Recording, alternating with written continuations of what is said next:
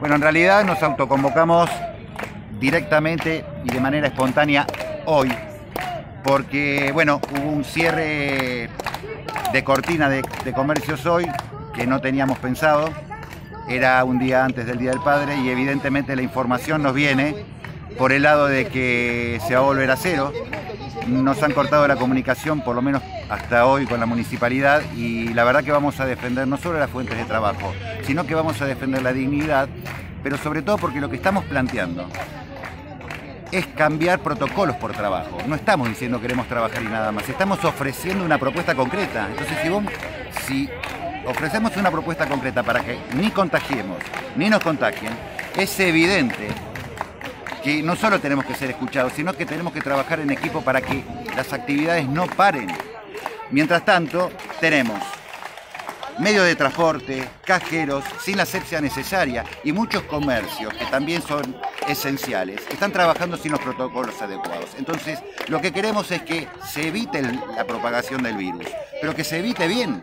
A ver, pero encima de la falta de competencia leal con respecto a los manteros, que es otro tema que vamos a trabajar durante el año, lo que tenemos fundamentalmente es un mantero tiene un nivel de asepsia eh, espantoso, o sea, son propagadores de virus trabajando desde el piso. Entonces, trabajamos desde el piso, los dejamos. Pero nosotros que estamos trabajando con protocolo, desde venta en puerta, que estábamos medianamente tranquilos, entendiendo la situación, pero con cierta comodidad, nos encontramos con este problema.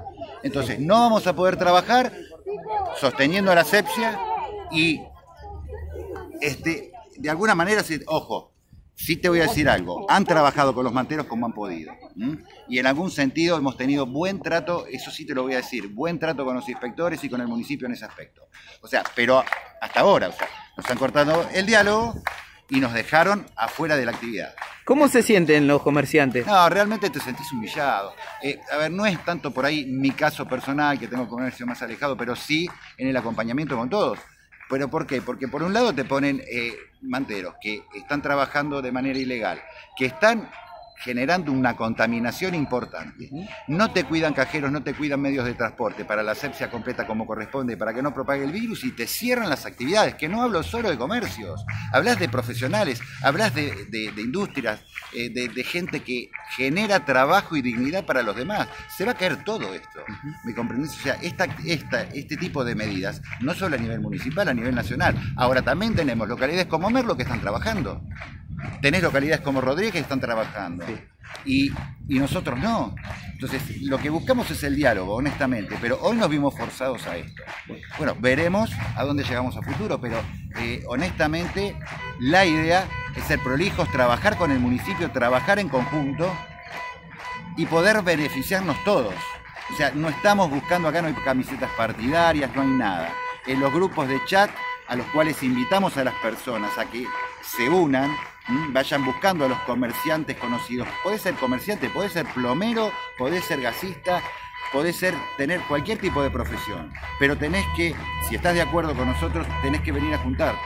Porque en este caso, si no nos unimos en pos de un objetivo concreto como el que estamos proponiendo, después no nos quejemos.